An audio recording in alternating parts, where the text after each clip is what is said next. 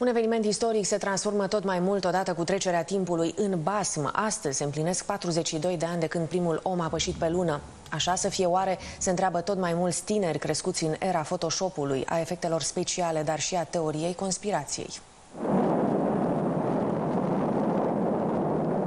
Aceste imagini au trezit tuturor americanilor sentimente de mândrie. Cu misiunea Apollo 11 i-au trimis primii oameni pe lună. Era 20 iulie 1969.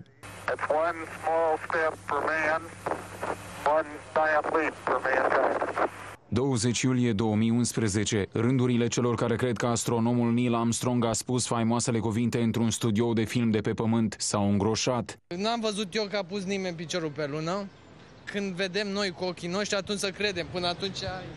Din 1972, o avalanșă de cărți și documentare susține că marea realizare a omenirii e de fapt marea păcăleală. Toate scenele filmate atunci ar fi fost falsuri. A fost o manipulare clară, pentru că rușii aveau deja program spațial și americanii au spus ok, să nu rămânem în urmă. Și uh, clar au uh, scos și ei faza cu ok, am fost pe lună. Și plus imaginea video arăta foarte bine. Acum 3G-ul se vede mai prost decât uh, filmarea lor de pe lună, deci... Nu, e, e o mare prostie.